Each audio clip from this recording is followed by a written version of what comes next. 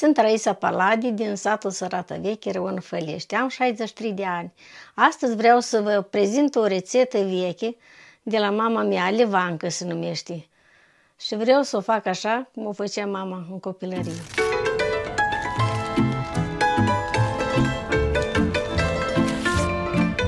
Ne ducem să cumpărăm brânză, că la tăs ne place brânza, dar nu vrem să ținem ochii, ne în alt sat. Brânza e bună, dar greu să faci brânza. Noi ajungem, scârnim la cât treci, da?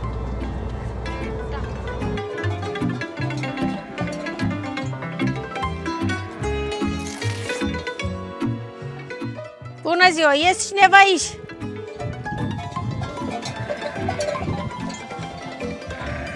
Bună ziua! Bună ziua, Doamne ajută! Vreau niște zări de oaie. Vreau să fac o alivancă, cum făcea mama odată. Și dacă să vedeți, să ne vindeți și o kilogram de brânză. Mă duc afară să aștept până să gătiți de mulți. Hai că Doamne ajută până la urmă.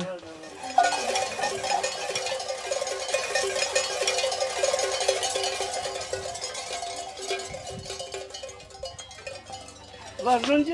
Oh, oh, dar pus plășinte să fac, nu numai urde. Și am de făcut de aliveni și până la iarnă. Mâncați sănătos. Zer de oaie. Da, este vece livanca să iasă.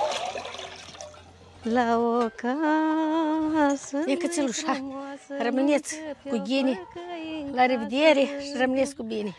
La o casă mai frumoasă, nu încăpeau flăcăi în casă. Hai că am ajuns și mă așteaptă omul și când să îndeiem și un flăcău, nu știu unde să o eu. Fiodor, deschide poarta că vine Raia cu zero. Vine că să facem alivanc. Oh, ba da prosti, Doamne, că am ajuns. Doamne, ajută-ne, Doamne. Unde a fost bunica? La stână bunica am fost după zer.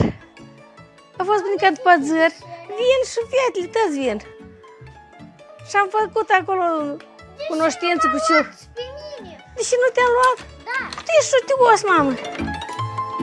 Raisa Palade vine dintr-o familie cu mulți copii. Ea a avut grijă de părinți la bătrânețe și chiar de unul din frații ei, care a avut sindromul Down. Cum a ajuns Alivanca în familia dumneavoastră? de la bunii mei părinți, de la buniei. Buniei mei au avut tot de vremea oi, din partea mamei buniei. Și tot vremea aveau zărul ăsta, până, tă, până toamna, târziu zărul este. Și e că ei făceau alivanca asta. Dar când mama ne făcea nouă, ne punea și carne. Și ouă mai punea întrânsă, și mai gustoasă. Și tăie și marar ca să aibă un gust uh, ei specific. Și ea că așa ne-a intrat și le place la băieții mie. Și la tot neamul ne le place, că suntem de neam care am avut oi toată vremea. Am unul avem, da? Pe vremea și am ținut și noi oi. Iar acum punem zero la fiert. Turnăm zero să fiarbă. Când s-a căsătorit, Raisa și-a construit o casă în curtea părinților. Îi plăcea să gătească ceva gustos și să meargă cu bucatele aburind de la ei ca să mănânce cu toții împreună. Am un soț tare cu minte și bun pentru mine. și am doi, doi fiori, Andrei și Ionel îi cheamă. Și am doi căsătoriți și am patru nepoți. Doi băieți și două fete. Eu am lucrat bucătăreasă la grădinița de copii. Am lucrat 24 de ani. Sunt invitată așa pe la câteodată și fac plăcintii, sarmale, cartofi dulci. Când iese ceva la primărie, o, din oaspeți, oaspeți ceva și eu mă cheamă și fac.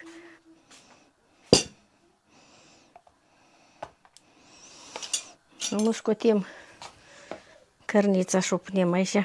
Trebuie să o pregătim, să o mai ruminim în tavau. De porc e pusă la ce unul e făcut și a pus în banc. Stăiem și o bucată de brânză așa. Ia că e asta, că am luat o livancă, nu chiar tăta să o punem și că o tăiem și tot cu buriele. Că când găsești câte o bucățică de brânză de asta și e gustoasă acolo și cu carne la un loc. Dar e, e bună mâncare. Gătesc de multe ori vara. Când este zero. Dar eu câteodată ne-l pun la înghețat și îl am pe urmă. Stați că am uitat să pun și două linguri de făină de asta. Așa că să aibă legătură. Așa că mă turnăm. Aia este. Îl upăriești și apoi îl pui la copt, că pe el are legături, dar așa nu poți pui făină și așa. Așa că lăsăm să răcorească asta, așa pa spunem, mai este toate ingredientele astea. E să rășești și dăm la rol și simplu și repede. Andrușca, băietul lui, Alivanca, el nu uită și-a mâncat la mămuca, nu uită niciodată. Tot vremea spus, spui cum făcea mămuca. Și el e la mine cu pâine de casă, tot ca la mămuca. A doilea e mai fudulan, nu chiar. Da, așa mai are, păi, așa la nu uită. Cât a trăiesc și cât am pot am să fac Alivanca, n-am să uit niciodată gustul copilării, că asta era, nu era răsfățul ăsta de torturi, de toate făcute cu chimicate. Rețetele de la mama le păstrez aici. Care de acum am scris într-o caiet, dar este care să mamii mele și le țin minte și până să mor. O parte din carne se pune direct din borcan, iar carnea cu mai multă slănină se prăjește un pic. Și vă mai rumen asta și la... Deci turnăm tot cu grăsimea asta aici. Ca pe e trage.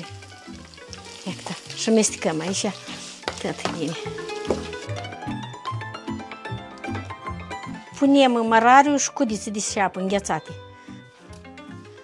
Când am n-am în grădină, dar la înghețat am. Când copiii ei au crescut, iar părinții nu mai erau în viață, Raisa și soțul ei s-au mutat în casa părintească, iar casa construită de ei a rămas copiilor. Spune că tot de ce are nevoie este un acoperiș deasupra capului și să-și vadă familia sănătoasă. Nimic mai mult. E ca un gem așa ghini, nu nici o falganic, așa, natural. Eu singuric tot vreme. Eu mami ajutam, dar eu n-am avut să ne ajut cineva. Ouăle bătute se adaugă în compoziția ușor răcită. Chiar și acum când ia că fac ceva o treabă, singuric fac. Petele fac. Până târziu, dar fac singuric. Alivanca se dă în cuptor pentru o oră sau o oră și jumătate la 180 de grade.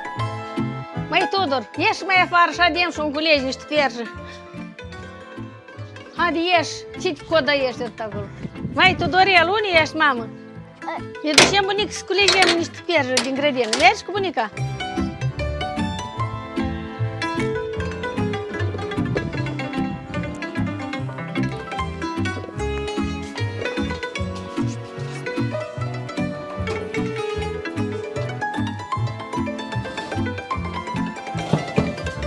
Ia ca mamă și Livanca.